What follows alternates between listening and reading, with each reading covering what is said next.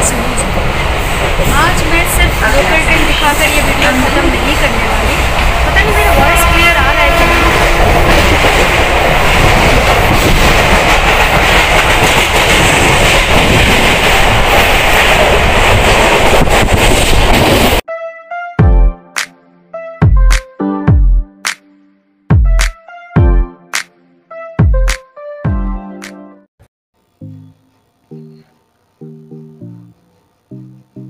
आओ सांबा आओ। बहुत दिनों बाद लगे हो हाथ। तकरीबन 12 महीने बाद मुझे मौका मिला लोकल ट्रेन में सफ़र करने का। वैसे अभी भी लोकल ट्रेन्स में कॉमन पीपल अलाउड नहीं हैं। हालाँकि अनलॉक फ़ेज़ में कुछ रियायतें बढ़ती गई हैं। जैसे कि सरकारी कर्मचारी, लॉयर, सरकारी स्कूल के टीचर्स अलाउड हैं। वहीं कॉमन लेडीज़ को पर्टिकुलर टाइम पीरियड में ट्रेवल करने की परमिशन मिल चुकी है।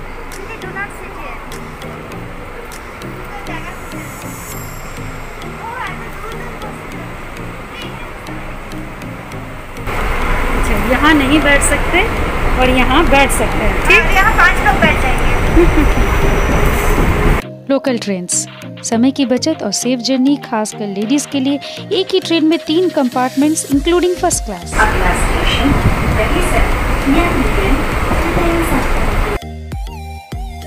अगर अनजान है तो फ़िक्र नहीं। अनाउंसमेंट पे भरोसा कीजिए। स्लो ट्रेन्स और फास्ट ट्रेन्स दोनों के ऑप्शंस है। और ज़रा नज़र फेरिए इसके स्पीड की।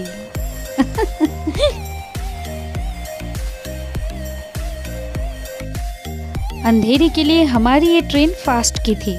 छोटे स्टेशन पे नहीं रुकी। बोरीवली से सीधा अंधेरी। जब आप भी ट्रेन बोर्ड करो तो ध्यान रखिएगा स्लो ट्रेन है या फास्ट ट्रेन नॉर्मल डेज़ में लोकल ट्रेन हमेशा खचाखच भरी हुई ही दिखेगी। औसतन सुबह आठ बजे से ग्यारह बजे तक चर्चगेट के रूट पर और शाम को छः बजे से नौ बजे तक का विरार के रूट पर।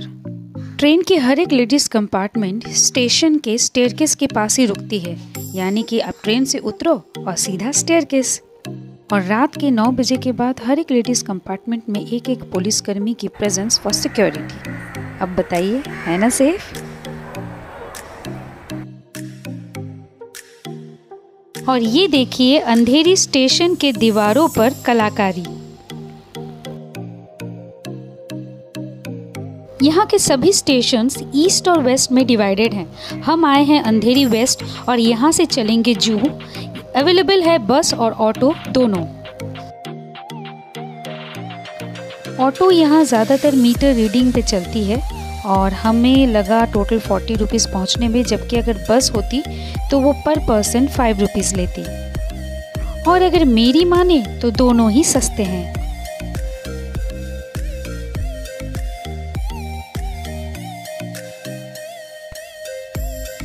तो जुहू में हमारा पहला डेस्टिनेशन हुआ हरे कृष्णा मंदिर। यह है बस स्टॉप और बिल्कुल उसी से सटा हुआ राधा कृष्ण मंदिर यानी इस्कॉन।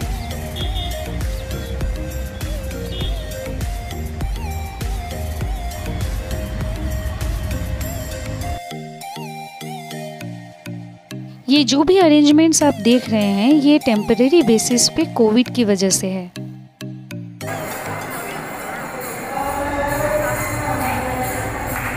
जुहू आने का मौका मिले तो इस्कॉन ज़रूर आइए। मैं छोटे छोटे क्लिपिंग्स में आपको दिखा रही हूँ क्योंकि मैं खुद चाहती हूँ कि आप यहाँ आए और दर्शन कीजिए। जब हम यहाँ आए तो यहाँ तुलादान उत्सव चल रहा था। यानी कि तराजू में एक तरफ़ किताबें जैसे कि भगवत गीता और दूसरी तरफ़ आ, किसी भी बच्चे को या किसी भी महिला को या किसी लड़के को बिठाकर उसके वज़न के किताबों को तोलकर उसे दान किया जाता है। किताबों के साथ साथ अन्न, अनाज, बाकी चीज़ें भी हो सकती है। आपकी मर्ज़ी है। इस्कॉन के प्रमाइसिस में खाने, पीने का भी अरेंजमेंट है। साउथ इंडियन उत्तपम, डोसा, इडली से लेकर चाइनीज़ मंचूरियन हो या नूडल्स, नॉर्थ के छोले भटूरे से लेकर वेस्ट के वड़ा पाव तक सब कुछ प्याज और लहसुन रहित मिलेगा यहाँ पर। और हाँ इंक्लूडिंग पेस्ट्रीज आइसक्रीम पिज़्ज़ा ओहो की बारह मास कितने का है? ये? दो सौ का छोटा वाला टेबल वाला डेढ़ सौ का। पूरा कर कैलेंडर बड़ी इच्छा है मायापुर के इस्कॉन के दर्शन करने की। देखते हैं ईश्वर को क्या मंजूर है।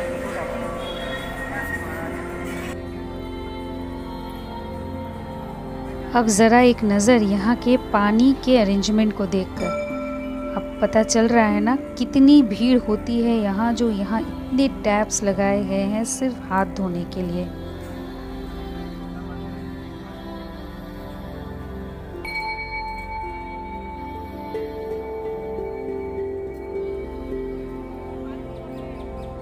ये प्रसाद वितरण स्टॉल। कई बार प्रसाद खाए हैं यहाँ से हमने। अब कोरोना की वजह से कई चीज़ों को बदला गया है। ये भी सही है, जब तक पूरी तरह लॉकडाउन ख़त्म नहीं होता, कुछ पाबंदियाँ होनी ही चाहिए।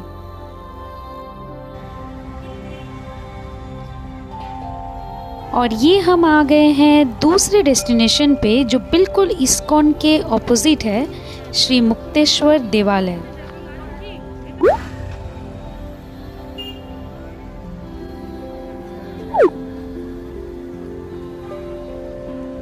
अगर आपको मुक्तेश्वर मंदिर के दर्शन का मौका मिले तो यहाँ के सेवन फ्लोर्स का विज़िट ज़रूर कीजिएगा। हर एक फ्लोर में एक एक भगवान के कई रूपों के दर्शन हो जाएँगे आपको। लिफ्ट से सीधा सेवन फ्लोर पहुँच जाइए और धीरे धीरे एक एक फ्लोर विज़िट करते हुए नीचे उतरते रहिए। इसे शनि मंदिर भी कहते हैं। शनिवार के दिन तो यहाँ मेले जैसा लग जाता है। अक्सर जानी मानी हस्तियाँ माथा टेकने यहाँ आते हैं। और ये एक झलक शनि देव जी के स्थान की। इस्कॉन मंदिर के ठीक सामने और मुक्तेश्वर टेंपल से सटा हुआ ये रास्ता निकल जाता है जुहू बीच की ओर, जो हमारा थर्ड डेस्टिनेशन है। और साथ ही एक झलक ये 627 नंबर की बस जो आपको सीधे इस्कॉन तक लेके आएगी अंधेरी वेस्ट स्टेशन से। और ऑन द वे ये कुंड है, यहाँ का पानी कभी भी सूखते हुए मैंने नहीं देखा है। और इसी में कई सारे टर्टल्स और टॉटॉयज दिख जाते हैं। कई लोगों के लिए बहुत आम बात होगी, लेकिन यहाँ हम जैसे लोगों के लिए तो बस ये एक अजूबा ही है।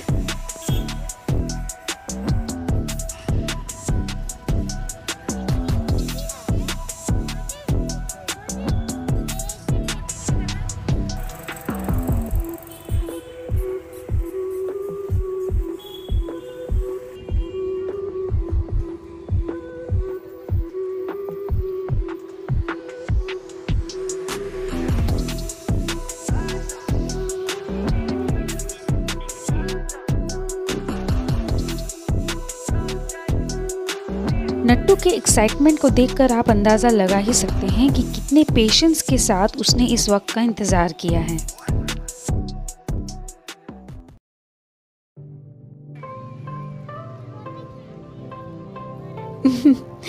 कौन कोरोना और कैसा कोरोना? यहाँ का माहौल तो हर एक खौफ से दूर है। सनसेट हो और समंदर का किनारा हो, इस जोड़ का कोई तोड़ नहीं है।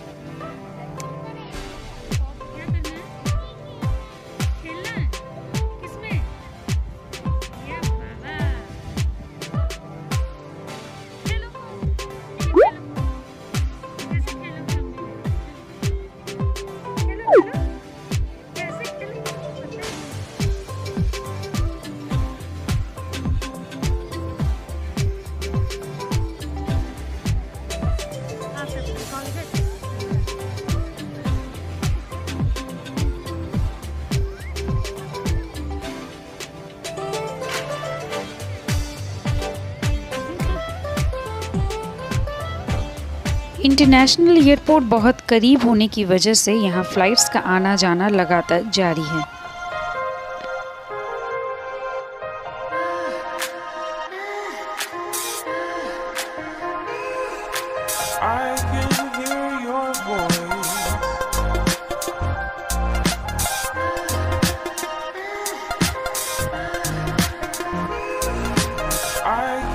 शाम होते ही बोट्स वापस आ रहे हैं।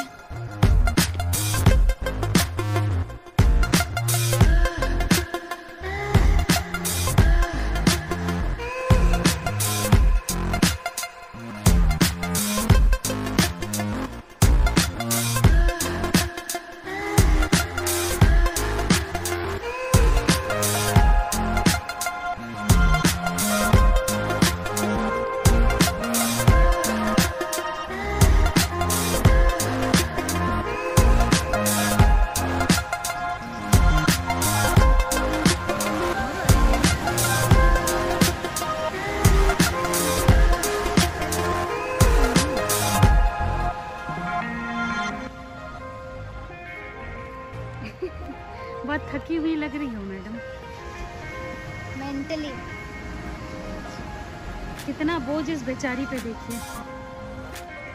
अरे अरे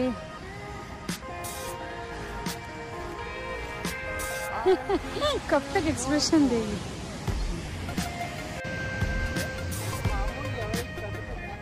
हाँ दिख रही है, दिख रही है, साफ़ साफ़। तो हमें लगा था कि बहुत करीब है, लेकिन दिखता भी बहुत करीब है, लेकिन एक्चुअली जूहू चौपाटी जहाँ हम आए थे समंदर के पास, वहाँ से एटलीस्ट 15 टू 20 मिनट्स का वॉक है। और क्योंकि ये सैंड है तो वॉक करना थोड़ा मुश्किल भी लग रहा है, लेकिन ये थकी हुई मैडम। तो लेकिन फिर भी समद- समंदर का ये नज़ारा देखते हुए चलने का मज़ा कुछ और है। और लो, बताओ।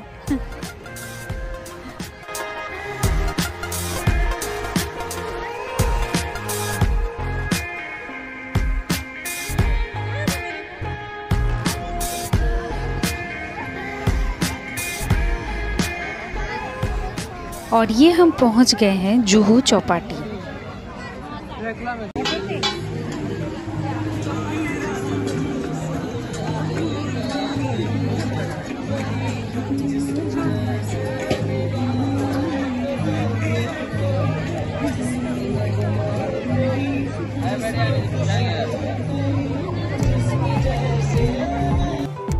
अगर समंदर में नहाने का शौक रखते हैं तो यहाँ पे फ्रेश भी हो सकते हैं।